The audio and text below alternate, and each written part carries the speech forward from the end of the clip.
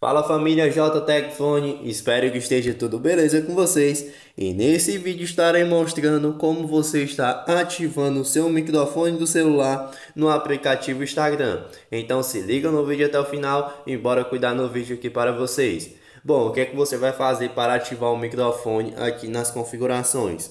Vai vir até as configurações do seu celular, em seguida vem até em apps e dentro de apps, você vai apertar em ver todos os aplicativos e procura por Instagram. Seleciona o aplicativo Instagram.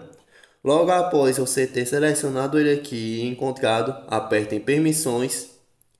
E dentro de permissões terá aqui a função de microfone. Você seleciona essa função de microfone Após isso, você vai colocar aqui essa bolinha que está verde em permitir durante o uso do AP.